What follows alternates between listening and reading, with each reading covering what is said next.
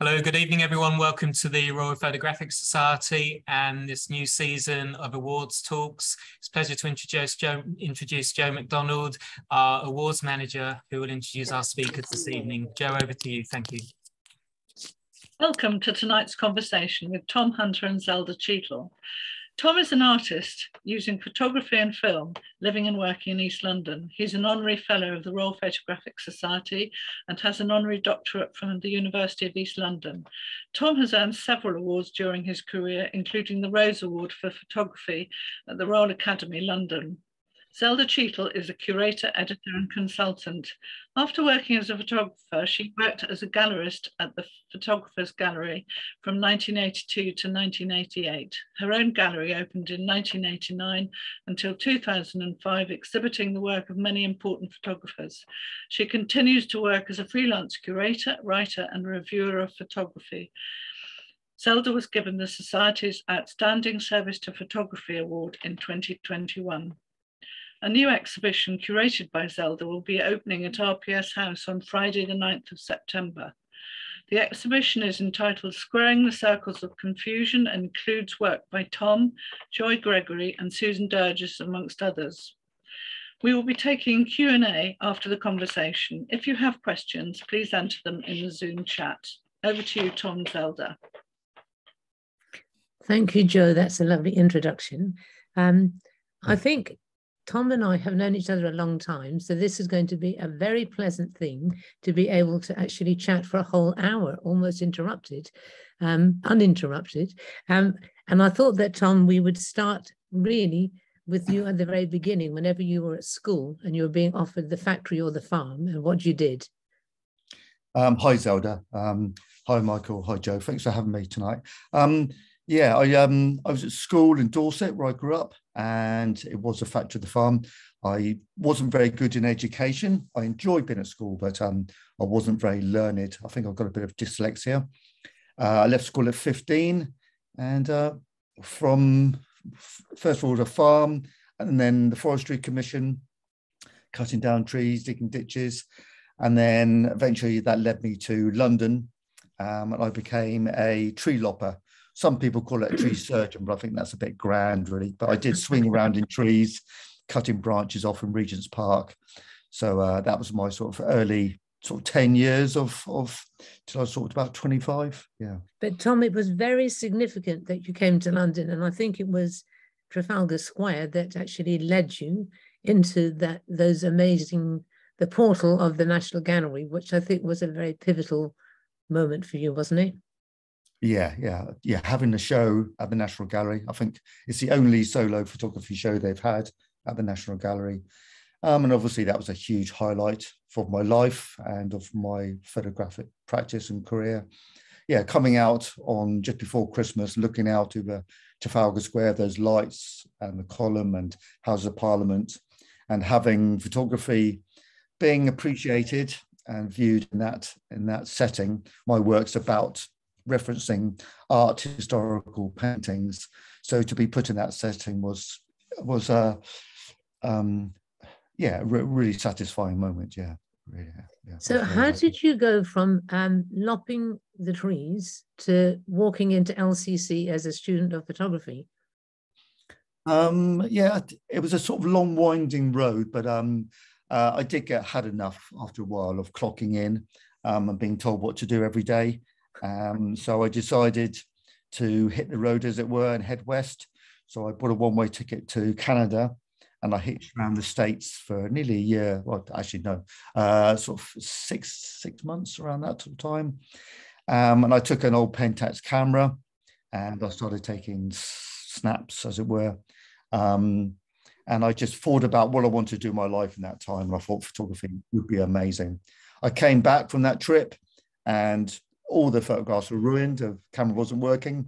Oh, so Tom, I didn't know that. I didn't know that none existed.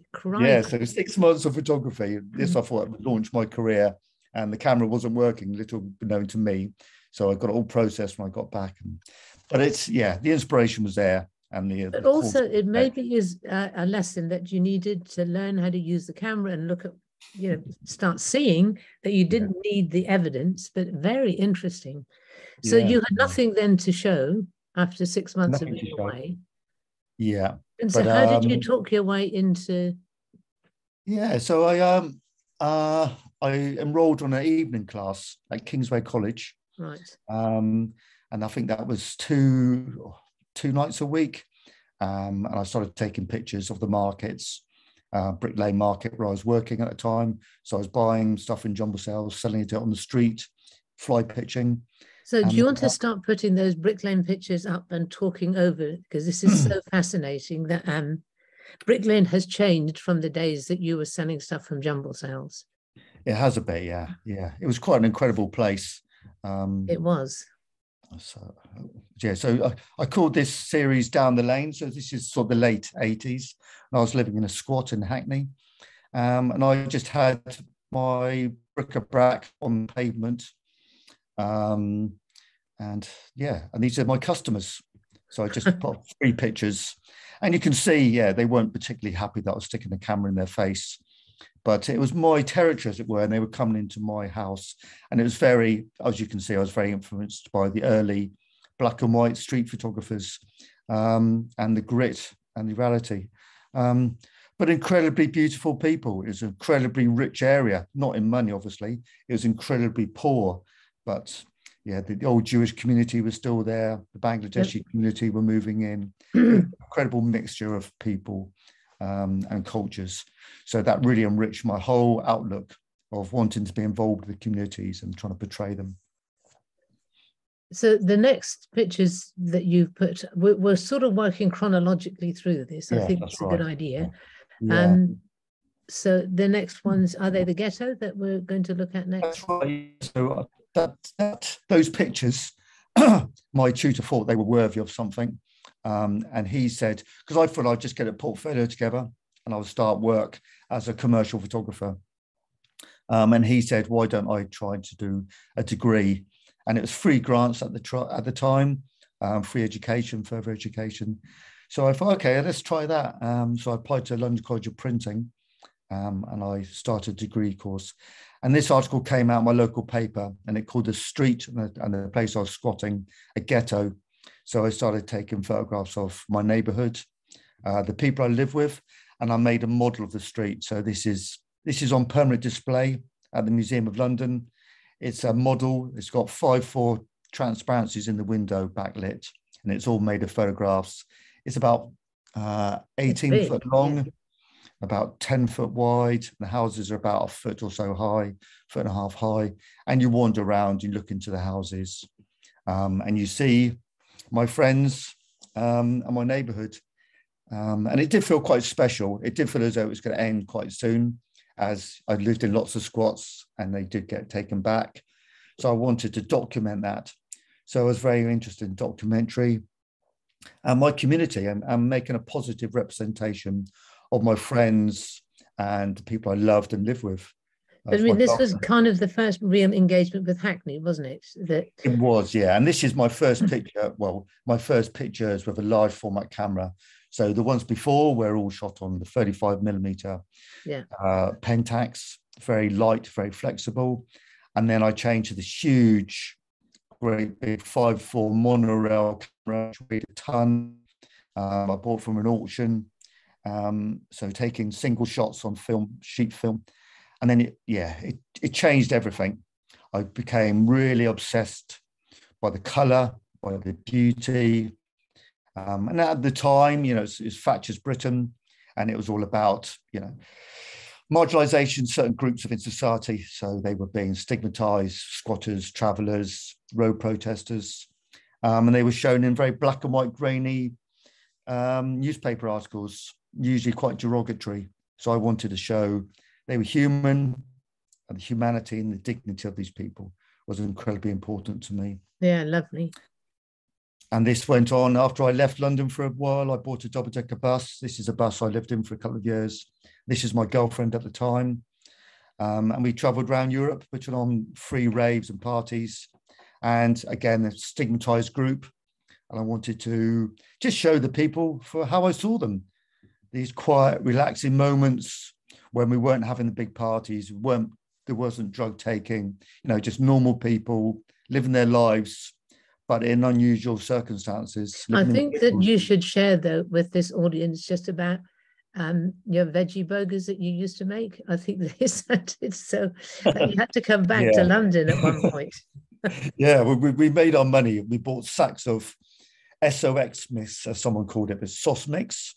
So it's vegetarian burger mix. Um, we bought sacks of it in London before we left, and sacks of muesli. And then wherever we went, we bought crates and crates of beer. So we had a little cafe selling veggie burgers, egg butties, and beer and that's what we lived on for. Yeah, I'd never eat a veggie burger again my whole life. sure. So uh, yeah, yeah. So it was free parties, free music, and cheap veggie burgers. So we were sustaining the ravers. Um, and so that's how we travelled. So it was uh, and really fun. You had really a lot of fun. Yeah, it was an amazing time. Amazing people. There's a whole community who have been travelling on the road for sort of generations, really, in England, going to free festivals from Stonehenge all around the country and then it got clamped down on the UK. So a lot of people um, made an exodus for Europe, and we carried on that lifestyle. So sometimes we were traveling on convoys of up to 50 vehicles of buses and trucks and vans, Lovely. going to Czech Republic, Spain, Portugal, Italy, Austria, France, Germany, meeting incredible people. And people were like, wow, you're putting this on for free. Wow, what's this music? So it's oh, brilliant. What an amazing brilliant. time. Yeah. Um, shall I keep it? Oh, yeah, just a, another picture. Um, and then uh, persons unknown. So I mentioned a little bit about my referencing uh, classical painting. Um, after I've been on the road for a couple of years, I applied to go to Royal College of Art, where I met you. Um, yep. The reason why I went to the Royal College of Art was because of you as well, Zelda. You know, You're I went joking. to your gallery on um, Charing Cross Road, just off the Charing Cross Road. Yeah. And I was like, wow, this is so special. Your gallery and the Photographers Gallery were so inspirational to me as someone wanting to be in that world. And I remember going in one day and, um, uh, oh my God, uh, well, I can't remember his name. Oh, the guy who did Jubilee, the film, and Blue. Oh, Derek Jarman. Derek Jarman was there. Sorry, it's completely put up my mind. Sorry he was there with you chatting away. And I thought, oh my God, this is the coolest place in the world. Derek Jarman in a photography gallery. This is where I want to be. And I think a few months later, you had Royal College student show in the yeah. gallery. I thought, this is a way maybe I can get into that world. so I applied to go to Royal College of Art. Um, oh, and you did a tutorial there. So yeah. Yeah, that's yeah. good. Yeah, well, yeah. I think I have is... such fantastic memories of all of that year. For about seven years, I was in photography at the Royal College, and I think I'm still friends with so many really fantastic people that were there then. I mean, I yeah, think it's changed a bit now, but there were such small groups of people in in those days, um, and you just got to know people so well, and people's. I mean, their practice really, really developed during that couple of years. It was such a good time. Yeah, 14 students in a year, two years. Yeah. It's, it's very different now, a whole of education. But, um, but anyway, I got inspired by Vermeer. Um, Peter Kennard said, why don't you actually, you know, make that obvious within your work? Because I've been referencing the, the, uh, the, Dutch masters before with the light and compositions. I looked at um, I reimagined it. This is an eviction notice that I got from a squat in Hackney. This is my my friend and neighbour. I'm still really good friends with. We've just been texting actually. Um, this is Philippa with her baby, as was. She's 25 now. This is Saskia. Um, so this is next door to me. This is in a squat in Hackney. She's reading the eviction notice. So I called it women reading, um, women reading a possession order. Um, and yeah, this picture probably changed my life really. Um, went into the degree show and it's been shown in national galleries from America to, to Poland, to Germany, to, to Prado in Spain.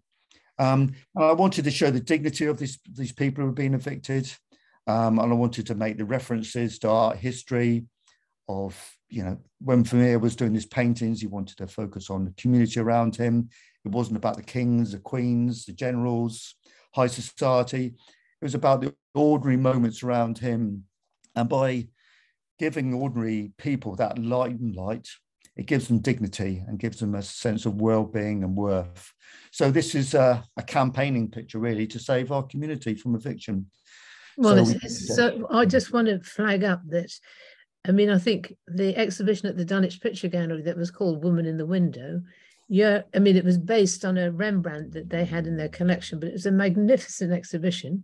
And as I walked past the back, well, the front of Dulwich Picture Gallery last week, there was this picture in the window of Dulwich Picture Gallery. So the woman in the window was also the woman in the window. It was so nice. Yeah. Um, it's a it's a great picture, and I think it really has reverberated. I mean, since you took it, it has been seen many many times, but it's it's a glorious picture. Yeah, and I think for me, I really wanted to be involved with beauty and calmness, um, but beauty with a meaning. So there's a political there's a real political punch. This, I think, you're seduced into it by the beauty of it, and then you read what's actually happening about eviction. So there's that twist to it, and it was a strange time. You know, Saatchi saw this, and he said, "I don't really like Tom Hunter's work." He didn't know it was me. I don't like political work. Work shouldn't be political. This is back in '97, and I did feel as I was really out of time. And then six months later, he came and he bought all the work. Um, so it's funny uh, how how different things happen, different fashions, and just have to be true to yourself. exactly, and you just make true to my community. Yes. Yeah. I think you were doing something that was nothing to do with its commercial value. You were doing something um, for very, very um, worthy reasons, as opposed to um, what Charles Saatchi might say to you. Yeah, um, and the, the, greatest thing about this is we saved our streets. So there's a, nearly a hundred, yes. nearly a hundred people living there, and we saved the street, the two streets. They run back to back. Um, my friends are still there today with their children. They brought up their children home. Some of them are grandparents now. So that community is still right in the centre of Hackney. So that's my greatest accomplishment that I've well, helped to preserve that community. So that's really important. Um, and then there's a, yeah, the art of painting. I changed to the art of squatting. Um, again, my friends, my neighbours, based on the Vermeer, um, and the whole community, the whole buildings became for me work of art. You know, people ripped off, made holes in floors, made holes in walls, uh, painted from the skip, you know, paints they found in the skip, decorated from things they found on the street. We were upcycling, we were recycling, we were taking waste because the whole area was due for demolition and re, re, we reimagined it and gave it life. which um, is brilliant. So it was quite an amazing place. um, and this is this is Holly Street. So this is a massive council estate just on the other side of London Fields to where we were living. Um, and I was given a flat there for a while, and I spent about two years working there. Um, this was my first commission that I, I worked for a small charity called the Hackney Building Exploratory, and they were looking at social housing issues. so I spent literally, yeah, weeks and weeks and weeks walking up and down 19 floors of this tower block, um, getting stuck in lifts. Yeah, so this this work it sort of it led almost directly into a place for us, didn't it? The film that you made with the yeah. Serpentine, yeah. because there was you obviously made real friends in Holly Street, but yeah. there's something so tender and I mean, just the way that you had with the people that are in the film, a place for us. It's really, uh, it was very moving. Oh, thank you. Yeah, yeah, and stigmatized. You know, people in social housing, people in council housing were seen as as a problem, um, seen as not worthy of being being depicted. And by taking in my large format camera, I felt like a royal court painter. We were using Polaroids. I was giving them dignity. I was giving them a chance to show their homes before these tower blocks were blown up. One was left, but all these people's yeah. homes were destroyed. And they were saying, "Oh, they need to be destroyed. This is this is not a good place to live." But they were great. They were really lovely apartments. Just they've been starved of money, so there's no no one on the doors. They've been left to rot with these people in it. So I really wanted to capture their lives with dignity and humanity. Um, so that was another really, really great project to have worked on. Um, and you can see that, you know, the poverty in this picture, but the humanity strikes much more, I think. You know, this boy's beautiful face and the way he looks up and their, and their children. You know, I'm a, and I'm a bad photographer. You know, I had this great big old clunky camera, and I couldn't use a flash. I didn't have lights, so they're all long exposures. But in some ways, it gives it quite a, um, a sort of magical atmosphere, which I was, yeah, which I'm quite glad that I don't know everything, and you can make mistakes, and then with with when you shoot on five four transparency, when you get it back, you can't just throw it away. If this was shot on digital, I'd probably delete it and take a picture so they were all in focus. But once you shot on film and you get that back, you can't throw it away because it's so expensive. So you hold on to it. Mm. So it's a very different way of working. I'm not against digital, but it was a very different way of working, that's for sure. Um, yeah, and this was this is actually a flat where they had um uh this this is EU uh, and meat. So the EU used to send luncheon meat to this estate to help feed the people. What did the EU ever do for us, eh? Well, they fed people in, uh, in the cities. won't be getting that anymore. um, and yeah, and then again, I made a model of the tower block. This is about 10 foot tall. And then you look into the into the windows, five four transparencies lit up from behind, and you walk around it. And I'm in I'm in negotiations at the moment. So I'm hoping that the Museum of London will take this model as well, and they're going to feature it when they open their new museum. When they open, oh, I hope so. That'd be fabulous. It should be that with be really the street. It'd be great to have them both together. Yeah. Um, and I think I'd love this piece of. work. I think it's it's yeah. yeah, it's a it's a real testament to a time and a place and those lives. And we also did we did uh, filming, so we we record live stories, and we had little screens inside there, and the people talk about growing up living in Hackney, living at that time, because it was such a different time, the poverty and, but but when they moved in as well, the hope and the and the enthusiasm for this modern housing was was was just so poignant, and then it all faded away, and now, yeah, everyone wants to live in a in a tower block in Hackney, but um. um and this takes me on to I did a I did a residency in um in IMMA in Dublin. My grandmother is was from Dublin, I believe. She died when my dad was very young. I got to Dublin, I didn't know what I was doing, so I started looking at Ulysses and James Joyce, and I came across this quote, yeah, the snot green sea. Um, and I dived into the sea in Dublin Bay at the 40 foot, and yes, my scrotum did tighten. My God, it's cold in March. that was quite amazing. And I and I um a friend of mine, a guy called Paul Smith, who was a tutor at London College of Printing, he made me this camera, this pinhole camera with a 5.4 back on it. So shooting on 5.4 with this box, I use a sock as a shutter and I'm doing these long exposures of all these bathing places around Dublin Bay, these Victorian places where the Victorians went into the sea. And for me, the, the bay becomes like a pregnant mother and it sort of it reminds me of all the people that are left Ireland, left from the famine or through economic hardships, whatever it is, and gone to London or gone to New York or gone to Sydney.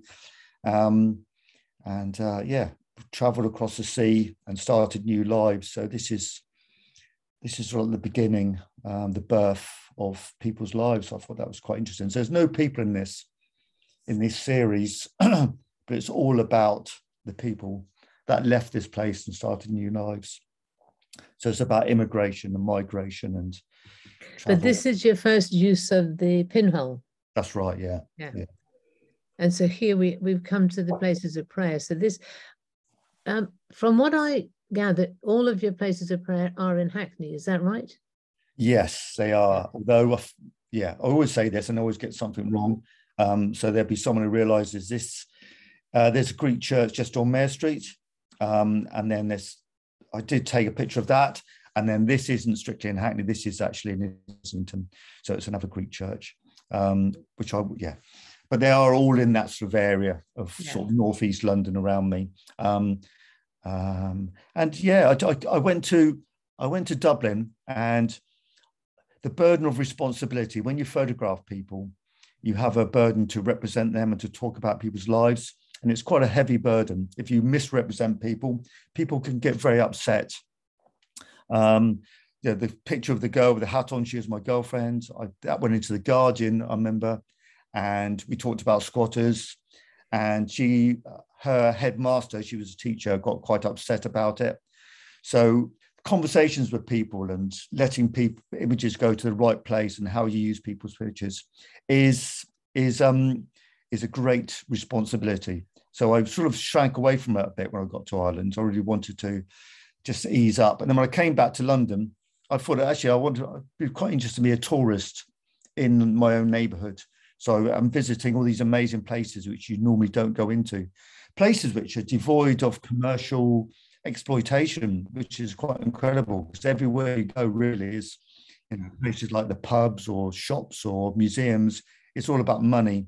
And then these places, it's about meditation, contemplation, and prayer. So I went in there, went into these places, and it was um, this is a synagogue, um, a chapel, and this one, this is actually, I think it's a 15 minute exposure. So obviously these are prayer mats. This is a Turkish mosque of on Kingsland Road. And there's actually about 30 people in this photograph.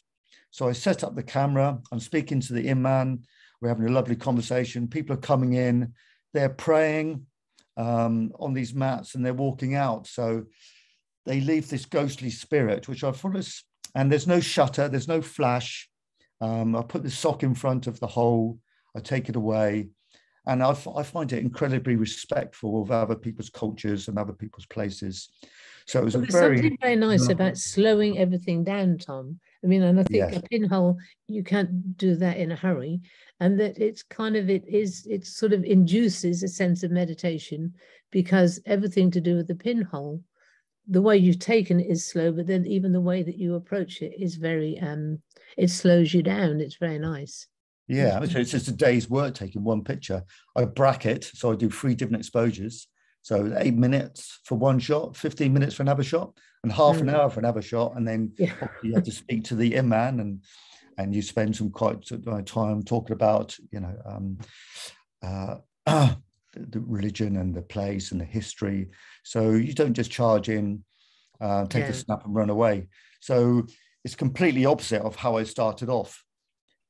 Um, and that doesn't mean I don't like those pictures. You know, I've, I've shown those pictures this year, and I love those pictures I took on Brick Lane. And I think they they're an amazing document of that time and place. But there's different ways of working, which are and also you you you kind of grow as a photographer because you've got different expectations of yourself as well, which mm. is um I think that's important.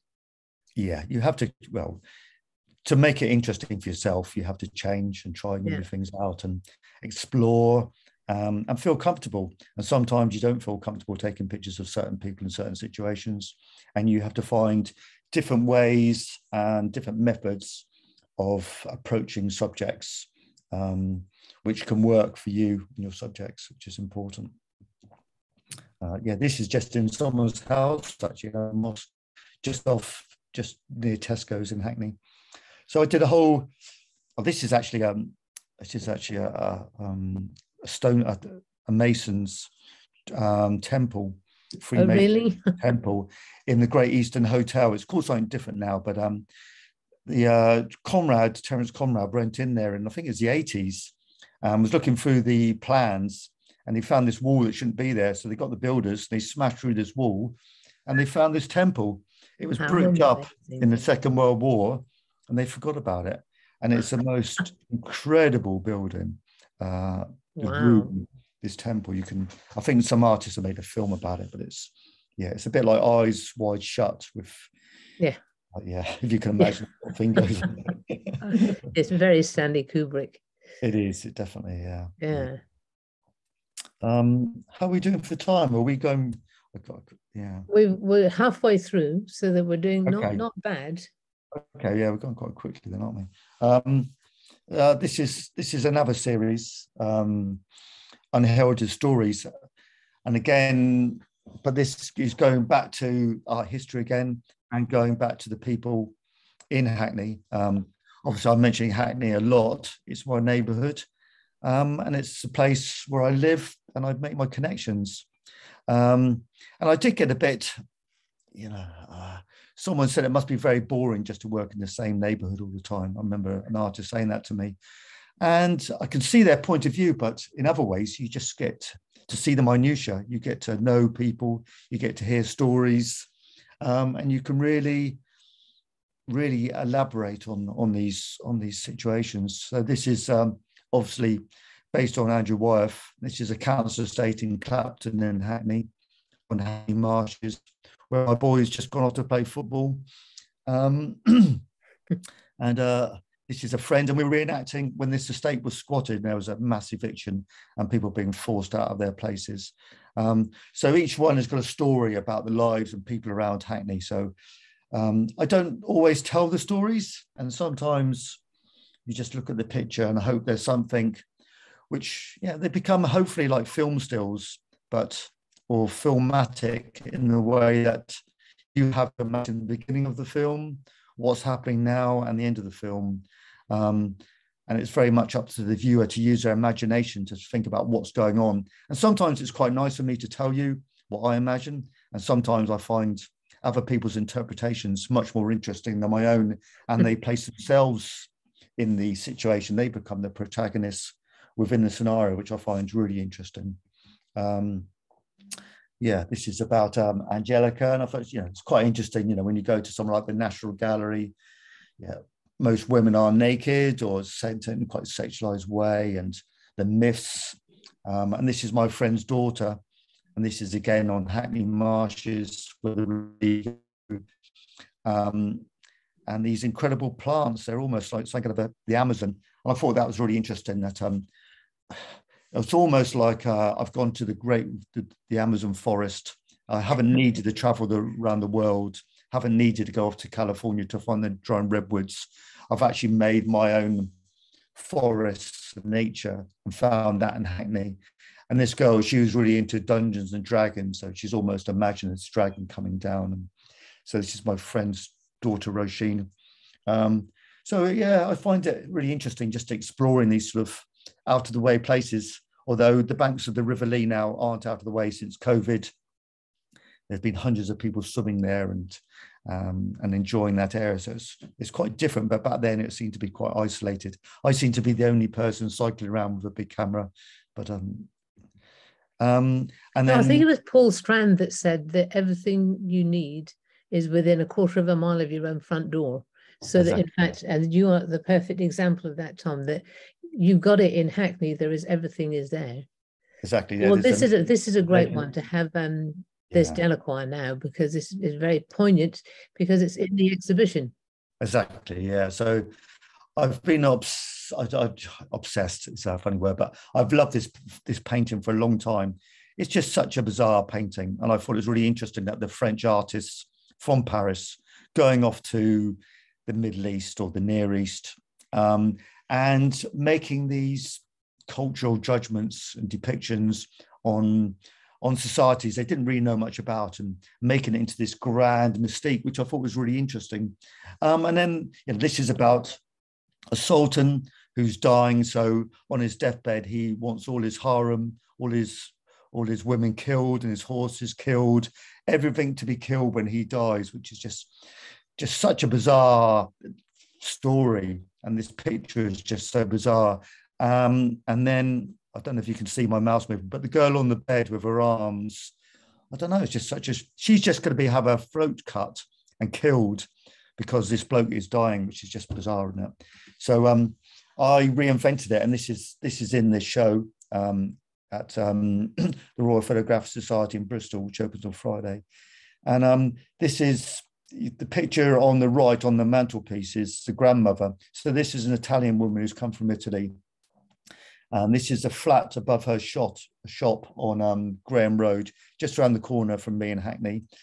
Um, set up the shop as a restaurant, Italian restaurant. And over the years, it became bastardized. It used to sell ice cream and pasta, and then ended up selling eggs, chips, and beans. And then uh, she died a number of years ago. And I went into the flat. I met the granddaughter. Um, they showed me, and she died on this very bed. The stains are from her from her bodily fluids when she died, and this apartment became a shrine to her Catholic identity. So for me, it's like I wanted to make the grand myth about the cultures that come to Hackney. Hackney and the East End has always been a place where different peoples have travelled to. They've come, they've set up shop, they come quite often from poverty and they build their lives and they set their children and their grandchildren on different destinies. Um, so I really wanted to sort of talk about that incredibly how incredibly lucky we are in this part of London to have all these rich cultures, these incredible people enhancing and giving us so much of their culture, their society, their food. So this is a homage to that lifestyle. Um, and then obviously the place was sold and I think it's turned into a kebab shop now. So yeah, it's a Turkish kebab shop, which almost goes back to that the original Delacroix. To the original painting, exactly. Yeah, exactly. yeah. It's got like the, big knives and the cutting and so I'm just trying. So I suppose what I'm trying to do is is people go into like a little, cafe and they just don't think anything of it. It's just ordinary. It's quite dull, and I'm trying to find the magic in my neighbourhood. And I'm also saying to other people, like you said, there's magic in every neighbourhood, and you don't need to go to Afghanistan. You don't need to go off the East to find these incredible rituals. It's all around us, so it's very much a part of that. Um, actually, I've got a lot faster than I thought, but a, a sideshow of a sideshow um, is something I've been working on for a few years. Um, and I went to Jordan, but this is actually where I grew up in Dorset. This is my local church. Um, and it's quite an incredible thing to find this man, this white man in Arab garb in my local church in Wareham in, in, in Dorset. And this is uh, Lawrence of Arabia, T.H. Lawrence. Um, and he died on a motorbike accident just around the corner from where I grew up. And I grew up racing motorbikes on the tank ranges where he lived on Clouds Hill. And I got quite interested in his life and the legacy of the British and French going into the Middle East and carving it up. Um, so I went to some of the forts in the desert where, where Lawrence fought from, where he lived. And I, I actually worked in Amman for six months um, as, as an artist residency, and I worked with uh, a number of groups from Palestinian refugee groups. Um, half the population of Jordan is made up of Palestinian refugees, and I think there's over a million Syrian refugees there. Um, and Jordan's a, quite a strange country. I think there's more there's more uh, refugees than there are actual population. Um, and these people come there and they're sort of God's waiting room. They're sort of just waiting to go off to Germany or to the UK or to America to start their lives properly. So we were looking at that sort of legacy of, of imperialism, um, in this case, Roman imperialism and British imperialism. Um, and I traveled quite a lot. These are these are two Syrian refugees. So I went to the Syrian border and I went to some of the big Syrian refugee camps, but this is actually a, a tiny refugee camp. It's probably just one tribe, maybe 100 people in this camp, just across the border. Um, they had their sheep, they brought their tents, they had their pickups, and they sort of zigzag across the border. So I spent some time with these people, um, and just yeah, the richness and the beauty of these of these people's lives and what they're doing and how they and how they've, even though it's a desperate situation they make their lives. And then also there's sort of generosity and hospitality and friendliness. It's just amazing that it's yeah. also um, misunderstood and they're fantastic people. Yeah and the way they invited me into their home you know and yeah. and yeah gave me tea and looked after me even though they're the people that are suffering and i'm the privileged person in this incredibly privileged position to go out there. Um, and then you know this was a time when the jungle was uh, the jungle was legitimate. No, that's the wrong word. This is when the jungle was still a jungle. Um, and my friend, who I travelled with on the road, he had a big sound system called Bedlam Sound System. He set up a refugee community kitchen in Calais. So I volunteered out there and I went out there and I did some washing up for a day and then ended up actually, me and my friends went out with, we ended up doing the mechanics on the vehicles. They would deliver, I think, 1,500 meals a day to the refugees. So I spent a number of weeks there, um, staying in a hostel, and yeah, spent quite a lot of time in the refugee camp. And this was before it was bulldozed. It's still going on now, um, and he's still got his community kitchen there. There's still refugees are still there, trying to trying to set up their lives. but this part of it is all gone now. These people have set up shops and houses. From the waste, the squatter camps. So in some ways, they were a bit like the camps that we had, but obviously we were incredibly privileged.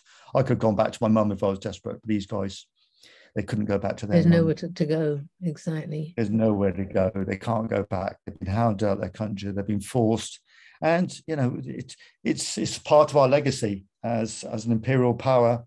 We've set up these these these actions that we did 100 years ago. Um, and yeah, I believe we should take some responsibility of it. So I was sort of looking at that.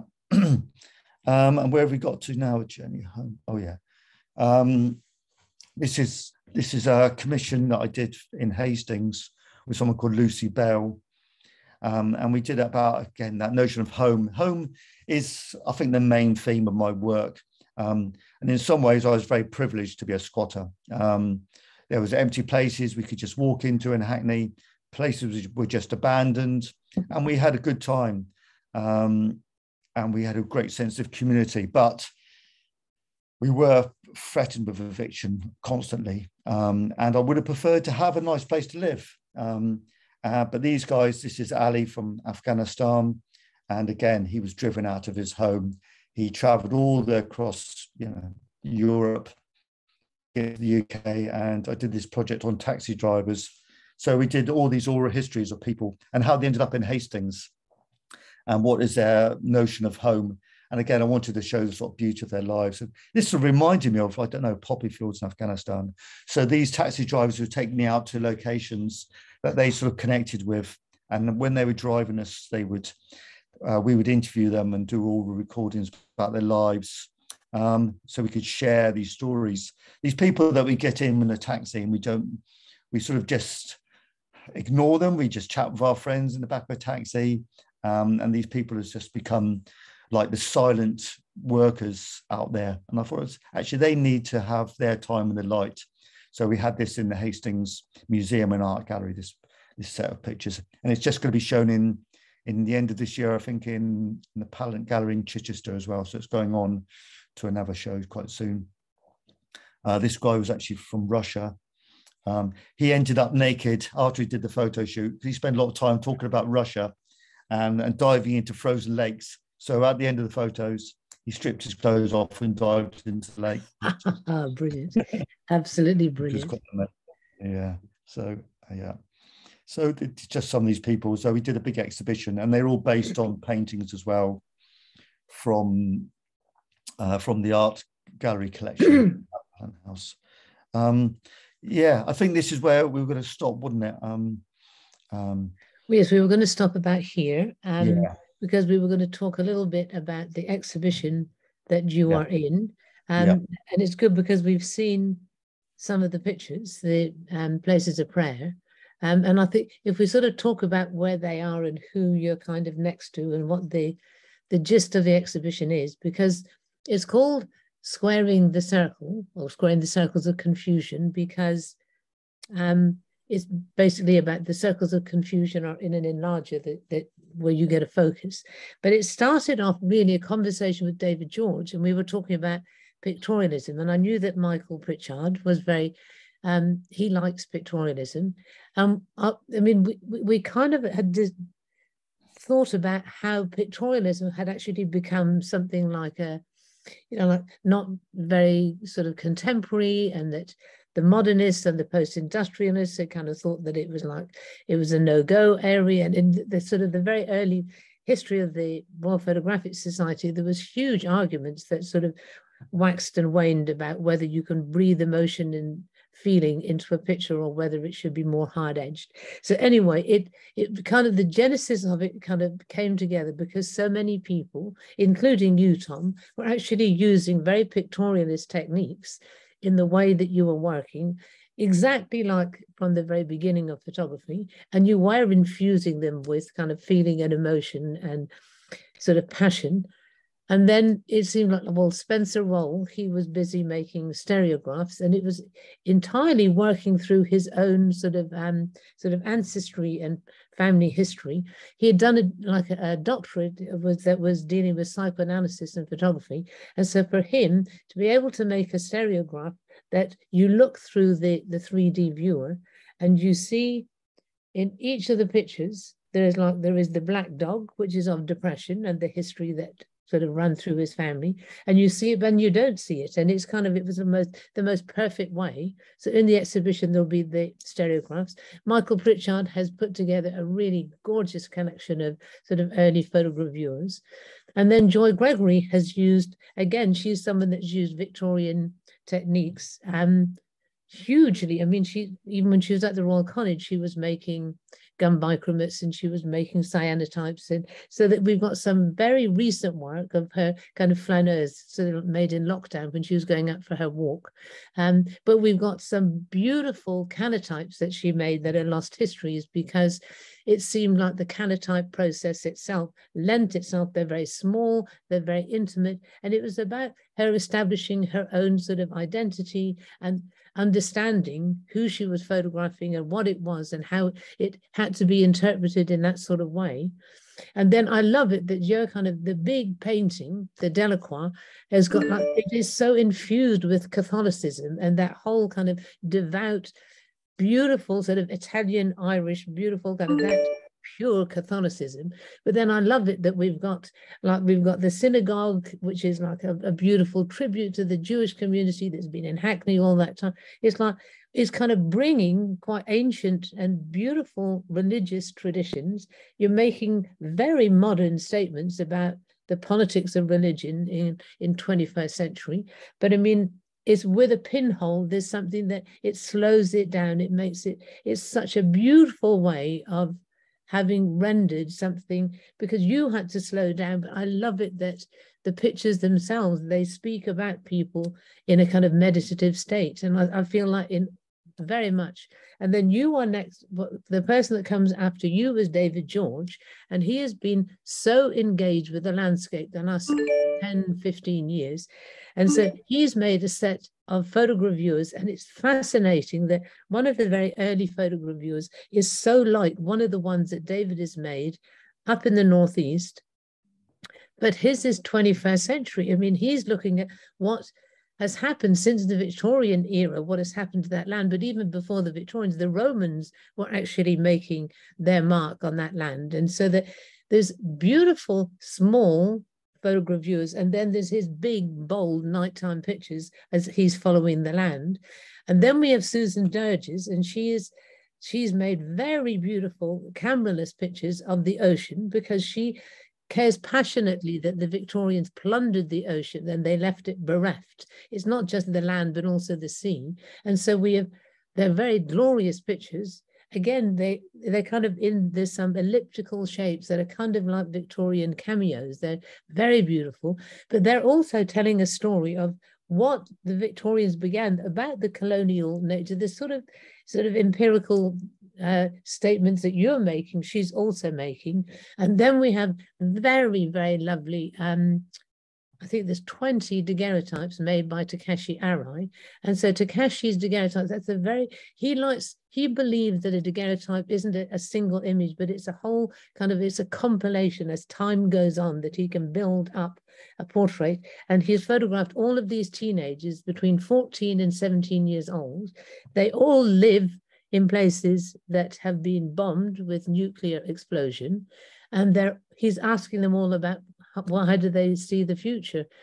None of them care about the fact that they live on nuclear land, but they're all very interested in like their computer games and their school and what their after school clubs. It's very interesting. So like what the exhibition does is it's bringing together a lot of people thinking actually about very similar issues, but using these incredibly expressive techniques. And it is such a lovely way. And the thing the picture that I sort of have used, I, have written something about the exhibition, and the one that I wanted to um, sort of, I think it expresses so much. Gwen is the mother-in-law. She's actually died since Ian made the portrait, but the last time she came to visit his house, she said, "Do I want to be here?" And so he took a portrait that day, and he has made these gum bichromate. Um, it's like a grid, and each part of the grid is 11 layers of gum bichromate. He, it took seven months for him to build up this glorious portrait of Gwen, who's looking out, and it's kind of her last moments, a real kind of cohesive thought. She's already looking sad, but this beautiful ambience of Gwen is just like it's it, she kind of fills the exhibition. It's, it's it feels like she is she's the key person in the exhibition. And then Celine Baudin has made um, very uh, sort of uh, loosely focused pictures that you think that you recognize the these sort of Victorian paintings, but in fact they're they're in fact they're they're kind of it's it's to do with memory and it's to do with what we kind of think of the Edwardians and the Victorians. And so Tom, your pictures are the most red thing in the exhibition. There's a lot of red. yeah. Yeah. Um, and I thought it was quite interesting that the way you use beauty so much in that talk. And I remember going to the Royal College and even at the LCP, um, them saying, look, don't use beauty. Beauty is isn't the thing to do. And I remember having lots of stick when I first started showing my pictures. They say, well, it's not proper documentary. You can't talk about social issues unless it's in black and white.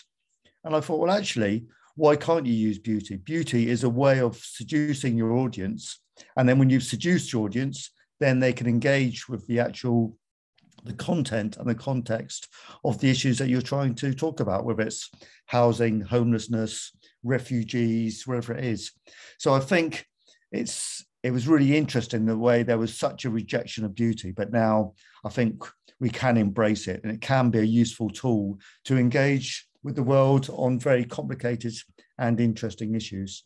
So um, I'm very well, I think you can be, say beauty and not be scared of saying it. Well, know. I think the the pond moonlight was an uh, was a really beautiful, striking uh, photograph that sold for like untold quantities of money. Yeah. What is very nice is that we've got a 21st century pond moonlight in our exhibition that is also absolutely beautiful. And I think beauty is something to be encompassed and endorsed and enjoyed. And I, I, I think that every mm. single person in this exhibition has got something really valid to say very yeah. to say. And, and, beauty is an important thing, but beauty for its own sake can be a little bit dross. Well, it's an, if it's, dull. But like this, someone who said from the um, the Dulwich Picture Gallery said, with my picture of the woman reading possession order, it's like you look at it, you're seduced by the beauty, you look at the baby, it's all very lovely, and then you read it's about an eviction notice. So it's like suddenly there's a hand grenade thrown into it. And I think that's what all these people are doing. They're all using beauty, but then to explore complicated themes and ideologies and issues, which is which makes it have that depth and complexity, which which work should do. I think. I think we should all be challenged. Well, I think viva neo-pictorialism is what yeah. I think. yeah. Yeah. Well, do you think we're almost ready for questions now? Yeah. Um, we've got about five minutes left, and so is that about is that a good idea? That's perfect, Zelda. Thank you. Thank you, Tom, as well. That's um, so insightful, really, really was. And it's given me some new insights into your work. And I, I thought I knew well, knew your work, but that's really been great. And thank you, Zelda, for opening, uh, bringing that to the fore with Tom. Um, we've got a couple of questions already. Um, and I'll pick up the first one off um, the Zoom chat. And it's from Maggie, who's wondering if you'd say your work is driven by political themes. Um, yes, I would say yes, that. I would say so. I would say so. I yeah. would definitely say so. I do remember going to a talk at uh, LCP. Um, and for me, the best thing about going to college for me was going to the artist talks. Um, I don't want to be rude about tutors or anything because we had some great tutors, but the best thing was actually just hearing people talking about their work. And I went to a, a talk in the film department um, and we weren't really meant to go there, but I actually go to all the departments, just sniffing out talks.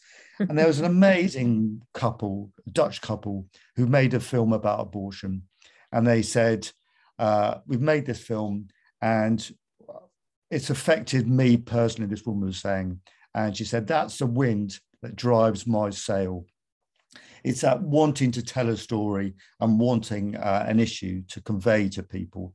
Um, and yeah, I can make beautiful pictures all day, but it can be a bit boring um, without a purpose. Um, so that political motivation gives me that wind in my sail. It pushes me out of bed and makes me engage with the world.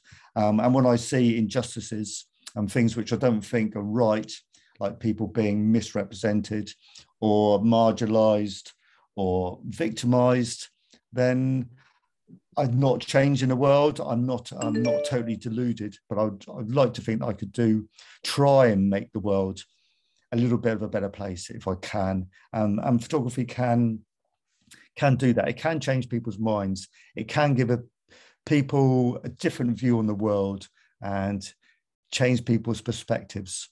Um, so hopefully, when people look at my work, they might have thought differently about squatters. Squatters were getting a terrible press at that time, and I remember lots of people coming to that exhibition, and the way the council dealt with us after that exhibition was completely different. They treated us with respect, and then from that we filmed a housing cooperative, and we did save our street. So I do believe in change. I do believe in positive good, and I do believe that we can do things. So um, which isn't very postmodern, I know, but I'm, I'm very old-fashioned romantic in that respect. and there's nothing, there's nothing wrong with that, trust me. Um, so our, our, second question is about, is asking about scale and about how you, you know, a lot of your work tends to be quite large scale, and and um, you know I know myself having seen what's in the gallery downstairs and, and the work you did for us for the Generations exhibition. Um, is that important to you? Is it how you see your work on, on this large scale always, or, or is it dependent on on your subject? Yeah, it very much depends on the subject. The the Brick Lane pictures, I've just had a, a uh, an exhibition with that. We've had two exhibitions in libraries in the East End of London. The pictures are 12 by 16 inches, and there's about 50 of them. And I really like that small scale of black and white images where you can get really close to. Um, and it, yeah, it just really works in that medium.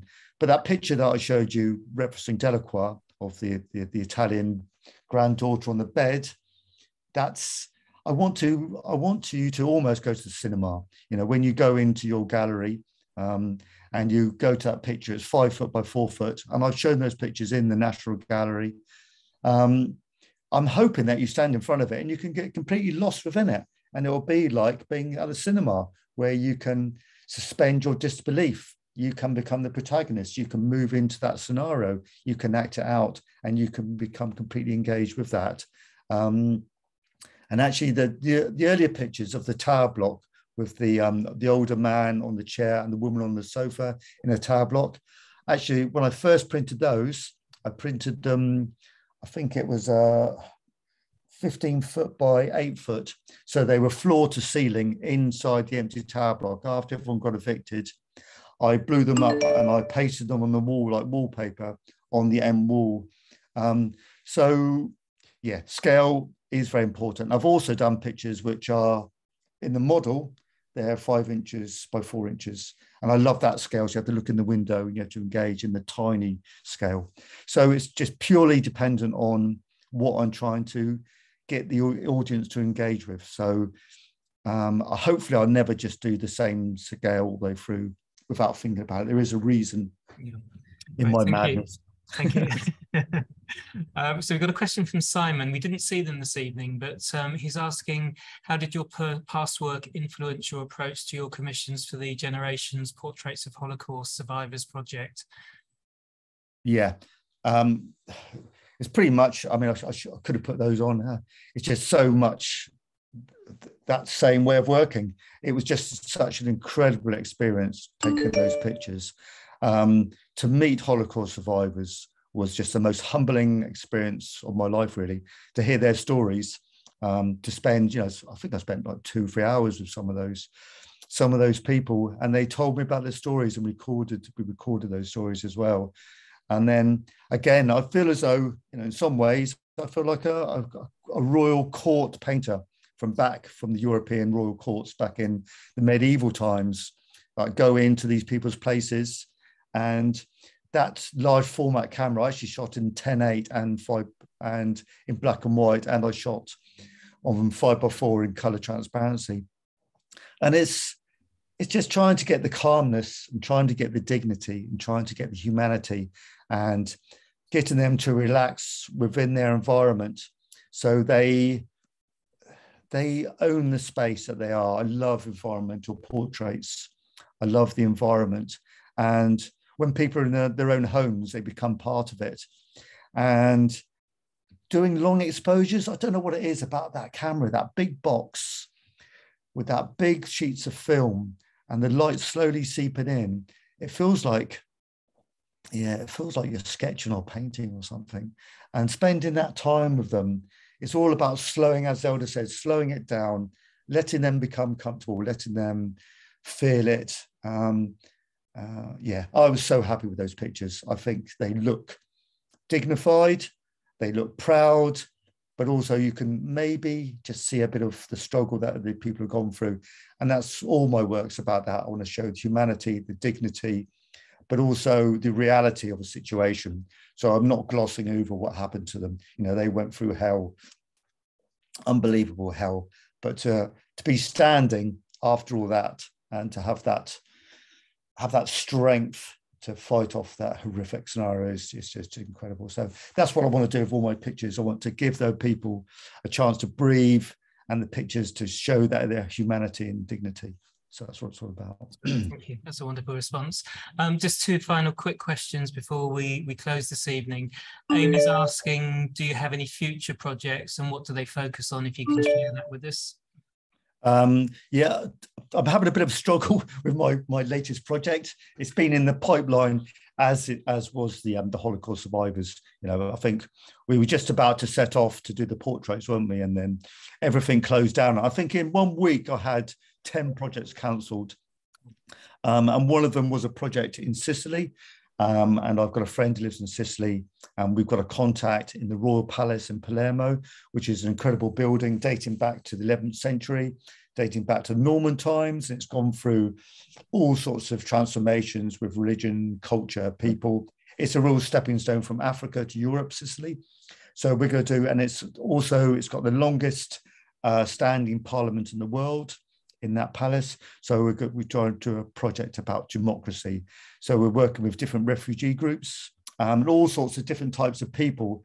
Sicily is very traditional, um, very conservative, and you think about it in terms of the Italians. So I want to bring in different people into different rooms and to explore architecture, the building, and again, dignity of different groups and bring them all together. So from dustbin, dustbin men to judges to um, uh, to refugees to school children. Um, we're bringing lots of community groups and trying to give them an equal footing and give us all chance to look into other people's lives and to share and maybe care about other people. And yeah, so that, that's what then, so hopefully I'll be off to Sicily soon. Sounds perfect. Um, finally, from Maggie, uh, again, just a, a, quick quick question here. Well, hopefully a, a quick question. Um, have you got any advice for any photographers starting out? That probably is a bit of a broad question, but perhaps a brief brief answer yeah. from Maggie find something that you believe in, find something you're passionate about, um, find something that's interesting you and, and just stay with that. Don't be influenced by other people. But if, if you're interested in in trees, go for the trees. If you're interested in buildings, people, whatever it is, just follow your heart and follow your passion. And that's always the way. Um, and then your passion will take you forward yeah, it's all about passion, I think, and belief. Know. That sounds like a perfect note to end on. Um, so, firstly, um, the, you can see Tom's work in Square in the Circles, which opens on the 6th of September. That's this Friday and will remain on show until the 9th of November.